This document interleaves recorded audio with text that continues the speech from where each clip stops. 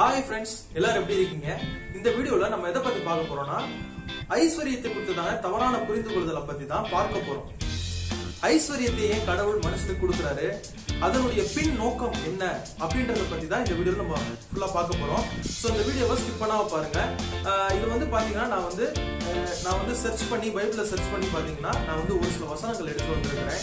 இது ரிலேட்டடா ஸோ அதை நம்ம பார்ப்போம். நமக்கு ஐஸ்வர்யம் தேவையா தேவை இல்லையா அதை பற்றி தான் இந்த வீடியோவில் நம்ம பார்க்க போகிறோம் ஓகே ஃப்ரெண்ட்ஸ் ஸோ ஃபுல்லாக பாருங்கள் ஸ்கிப் பண்ணாதீங்க. ஓகே வாங்க வீடியோக்குள்ளே போகலாம்